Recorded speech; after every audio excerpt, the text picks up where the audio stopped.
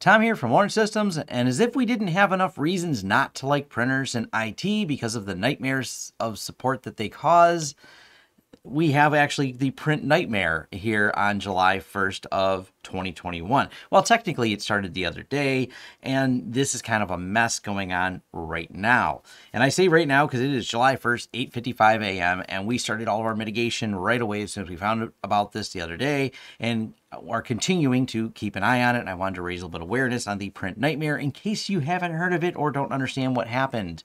Essentially, a security researcher tweeted out a proof of concept exploit and explainer recently, and then quickly deleted it. This exploit and discussion contained an unpatched zero day in all underline all here, supported and extended security update versions of Windows OS. Now, specifically, the proof of concept has only been shown for Windows server platforms, but uh, it's a matter of time before someone escalates this and starts exploiting the print spooler inside of your standard, you know, Windows 10 deployments.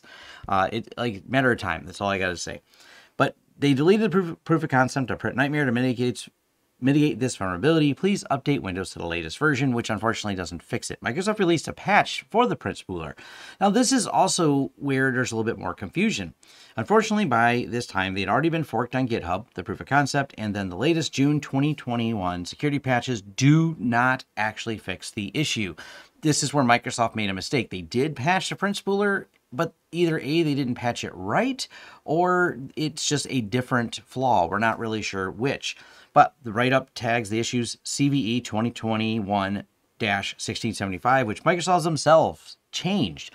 They upped the severity of it. So if you were first looking at this, then this is why this is a particularly confusing one. It had a low severity and did not show remote code execution.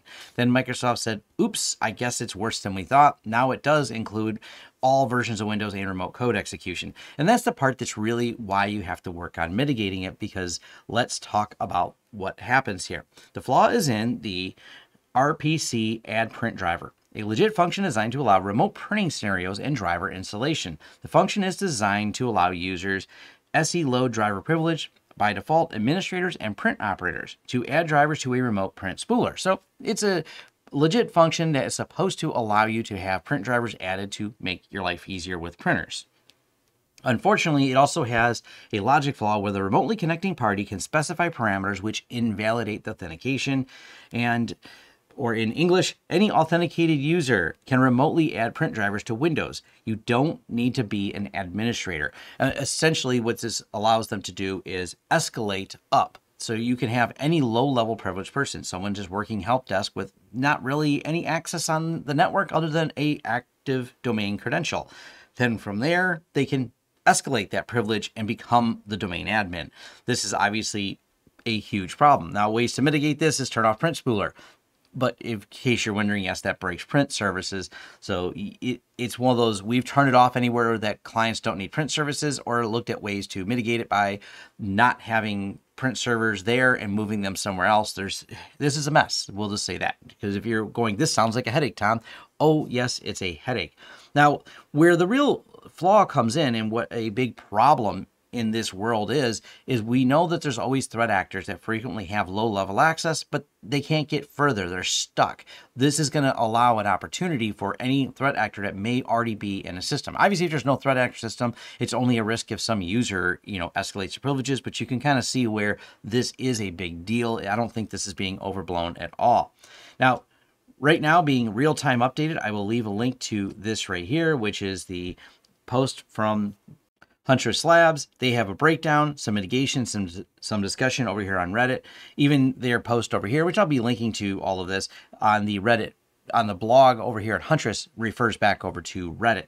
So they have the mitigations. There's a few more things you can do. There's a few parameters you can put on there. There's actively working on and maybe even by the time this video you know gets to you you've already mitigated or there's better mitigations that are available right now. So keep an eye on it. Links will be right down below where you can learn more about this. Uh, big shout out to Kevin Beaumont, aka Gossi Dog, uh, over here on Twitter, who is the author of this and is, you know, real time dropping updates for this. Also, he is the author right here at Double Pulsar that wrote this write up that I was reading from. Big shout out to the team over at Huntress Labs for, for their work on this. And of course, John Hammond. I has a video and posted over on Huntress. that He has a great YouTube channel. Leave a link down below. Uh, but they do have a proof of concept if you want to actually see this in action how it does a privilege escalation. That is included in this Reddit post right here. So you can uh, try it out for yourself. And yeah, this uh, be scared. And this uh, video is pretty short here, but it walks you through in three minutes, going from three minutes to not being a domain admin to John having domain admin on this. So, um, yeah, we'll go ahead and jump to the end so you don't have to wait the whole time. But of course, I'll link in there. But ah, uh, yes, CD users admin administrator, and all right, the, that uh, the short little video. John gets admin on there, so pretty scary. And uh, I'll leave links. Leave links to all this below. Get patching, get mitigating. Well, patches aren't available, so patching may be available when you watch this video, but if not, get mitigating. All right, and thanks.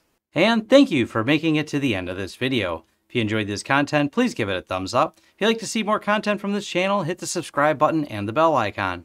To hire a Sure project, head over to lawrencesystems.com and click on the Hire Us button right at the top. To help this channel out in other ways, there's a join button here for YouTube and a Patreon page where your support is greatly appreciated. For deals, discounts, and offers, check out our affiliate links in the descriptions of all of our videos, including a link to our shirt store where we have a wide variety of shirts and new designs come out, well, randomly, so check back frequently. And finally, our forums. Forums.lawrencesystems.com is where you can have a more in-depth discussion about this video and other tech topics covered on this channel. Thank you again, and we look forward to hearing from you. In the meantime, check out some of our other videos.